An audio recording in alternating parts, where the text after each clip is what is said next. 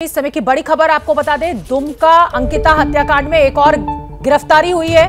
नईम अंसारी नाम के शख्स को गिरफ़्तार किया गया है। नईम अंसारी उर्फ़ छोटू। दोस्त था उस लड़के शाहरुख का, जिसने अंकिता के ऊपर पेट्रोल फेंककर आग लगाई थी। तो दुमका हत्याकांड में एक और गिरफ्तारी हुई है। पुलिस को बड़ी सफलता मिली है। आरोपी नईम अंसारी और छोटू को गिरफ़्तार कर लिया गया है। ये छोटू शाहरुख का दोस्त था और इसी ने शाहरुख को पेट्रोल ला कर दिया था। वो पेट्रोल जो कि अंकिता के ऊपर खिड़की से फेंका था, इस शाहरुख ने और उसके बाद आग लगा दी थी।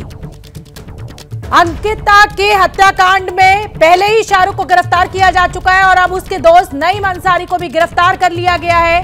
नईम अंसारी वही लड़का जिसने शाहरुख को पेट्रोल ला कर दिया था और शाहरुख ने उस पेट्रोल को खिड़की से अंकिता, जो कि सोई हुई थी सुबह तड़के चार बजे के करीब डाला था और फिर आग लगा दी थी। प्रशांत का मैं एक बार रुक करना चाहूँगी। प्रशांत, बड़ी सफलता इसे माना जा सकता है, क्योंकि मेरे मन में भी ये सवाल था कि आखिर ये पेट्रोल शाहरुख के पास आया कहाँ से? तो उसके दोस्त नई अंसारी को गिरफ़्तार कर लिया गया है।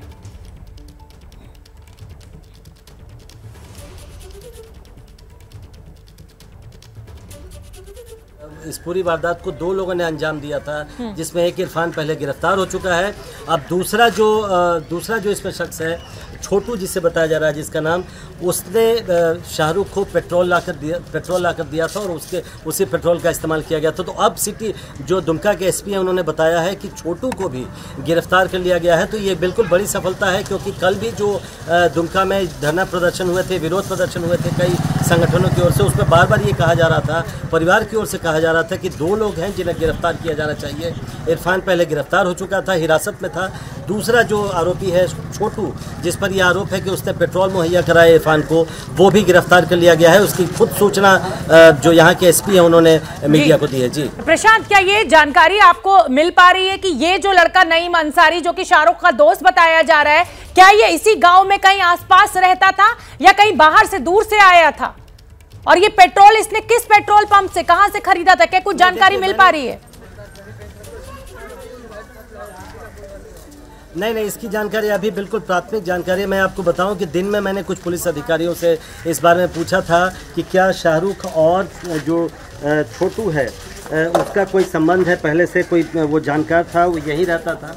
उस पर एक बड़े पुलिस अधिकारी ने मुझे बताया था कि शाहरुख और जो छोटू है वो अलग अलग मोहल्ले में रहता था। मैं जिस मोहल्ले में खड़ा हूँ ये इसमें शाहरुख रहता था लेकिन छोटू किसी और मोहल्ले में था। लेकिन उसी ने पेट्रोल खरीदा और पेट्रोल मुहैया करवाई थी इरफान को। ये अभी नहीं पता चल पाया है शोभना कि आखिर किस पेट्रोल पंप से ये पेट्रोल खरीदा गया। पुलिस की तफ्तीश जारी जारी है। पुलिस की जाँच जारी है। और मैं आपको एक एक और अपडेट दे दूँ। मैं, मैं, मैं अंकिता के घर पर खड़ा हूँ और जानकारी ये मिल रही है कि बाबूलाल मरांडी जो झारखंड के पूर्व मुख्यमंत्री हैं वो कुछ देर में अ, अंकिता के परिजनों से मिलने आने वाले हैं। मैं यहीं पर मौजूद हूँ। जैसे ही आते हैं मैं आपको अपडेट दूँगा। बिल्कुल प्रशांत आप नज़र बना के रखिए। पुलिस की जाँच से जुड़ी हुई कोई भी जानकारी मिलती है और अब पूर्व मुख्यमंत्री बाबूलाल मरांडी पहुँचने वाले हैं। वो तस्वीरें भी हम आपको दिखाएँगे।